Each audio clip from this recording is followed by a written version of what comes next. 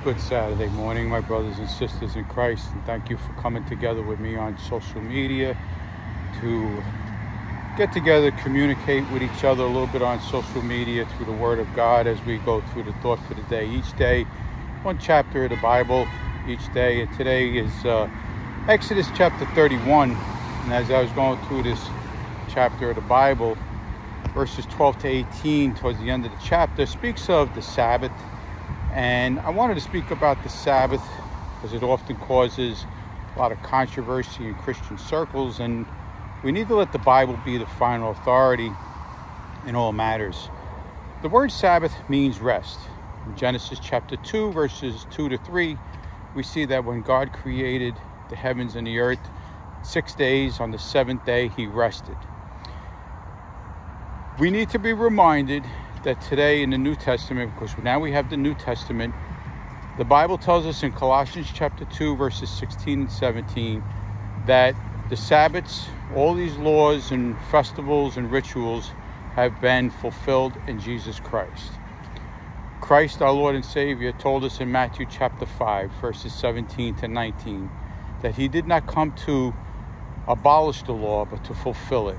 The law, the Sabbath, the Sabbath law has been fulfilled now in Christ. He is our rest. We read in Hebrews chapter 4, verses 1 to 11, that we have a rest now, as Hebrews 4, verse 9 tells us. That rest is in Jesus Christ. Christ himself told us in Matthew chapter 11, verses 28 to 30 Come to me, all you that are weary and heavy laden, and I will give you rest. My friends, when you're weary, when you're going through difficult times, physical ailments, emotional distress, where do you go? Do you go to a day, wait till Saturday to rest in the Lord? No, we have a perpetual, continual, ongoing rest, not so much in a day, but now in a person, our Lord and Savior Jesus Christ. The penalty for not keeping the Sabbath was death, as we read in this context in Exodus chapter 31, verses 12 to 18. And today, in the New Testament, as I said, if one does not come to Christ, death reigns over them. We are spiritually dead, as Colossians chapter 2, verse 13 tells us, and Ephesians chapter 2, verses 1 to 3 reminds us. We're reminded that we are condemned if we don't have Christ. John chapter 3, verse 18 reminds us of that, and a little later on in the chapter of John chapter 3, verse 30, we're told that the wrath of God abides in us. So just as if someone did not keep the Sabbath on the seventh day Sabbath in the Old Testament, they were to be put to death. We too today, if one does not come to the eternal rest that we have in Christ, my friends, we will also face the eternal spiritual death penalty. The Sabbath was kept as a reminder, as Deuteronomy chapter 5, verses 12 to 15 tells us that the Israelites escaped from Egypt. It was a sign of the exodus from Egypt. And it's a reminder for us too now in the New Testament that we have now in Christ, which is our Sabbath, our rest, escaped from our Egypt, spiritual Egypt, our sins. 1 Corinthians chapter 15, verses 56 and 57 reminds us sin because of sin we die, and the sting of the of death is the law. But thanks be to God who gives us the victory through our Lord and Savior Jesus Christ. You see, my friends, Christ is our exodus now. He is our escape from the spiritual Egypt that had us, had us in bondage to sin. We were slaves to sin. Just like the Israelites were slaves to the Egyptians physically. As Christ reminds us in John chapter 8, verses 32 to 36, we were slaves to sin until we were set free because of Jesus Christ.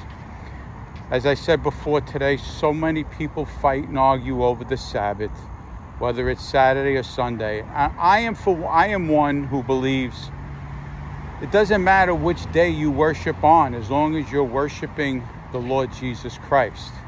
And as I said before, it's not so much about a day. You see, you could go to church on Saturday or Sunday, look holy, put on your Sunday best suit and tie and best dress and sing songs, the loudest voice, and you can nod your head as much as you want while the preacher is preaching the sermon. But my friends, God looks at your heart. 1 Samuel chapter 16 verse 7 reminds us that man looks at the outward appearance, but God looks at the heart.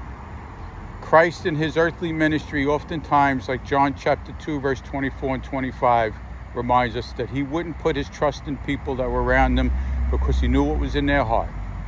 God sees your heart, my friends.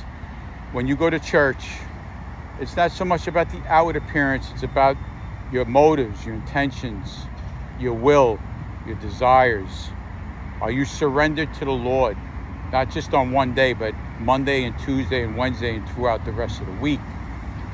I hope today's devotional, my friends, will be an encouragement and a reminder as we go through these scripture verses to let the Word of God speak to us.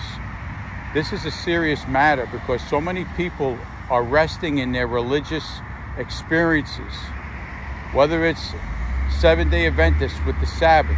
For me, growing up as a Roman Catholic, believing that you got right with God uh, by the things that you do. You see, this is what people fall into the mistake of. They think they're getting saved by their works, observing a day, observing different rituals as Catholics do, like I grew up, you know, bowing before a, a, a cross and telling a priest your sins and then you light some candles and then you're told that your sins are forgiven.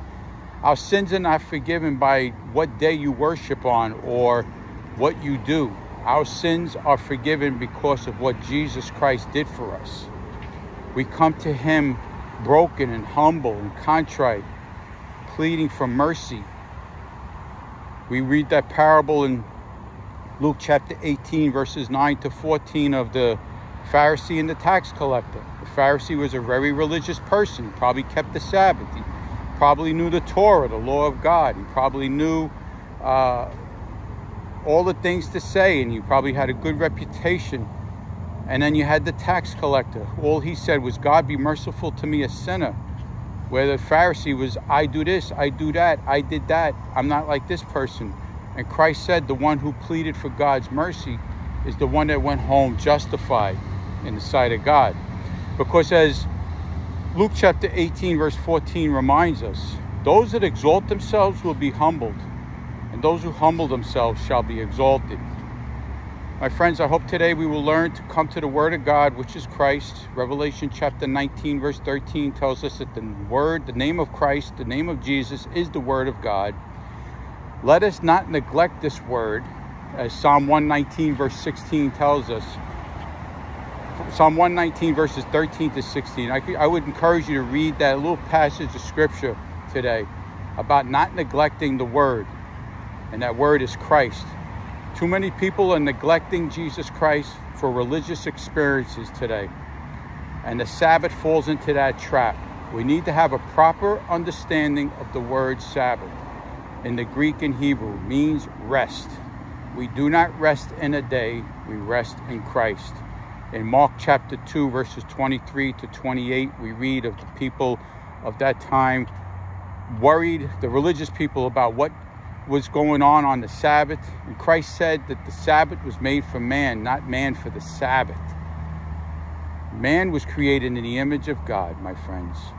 And we need to be reminded that these souls need to be saved, and they're not going to be saved simply by observing a day, but bowing their knees before Jesus Christ. And I hope today, my friends, we will stay strong in the Lord. Let the word of God be the final authority, all of scripture.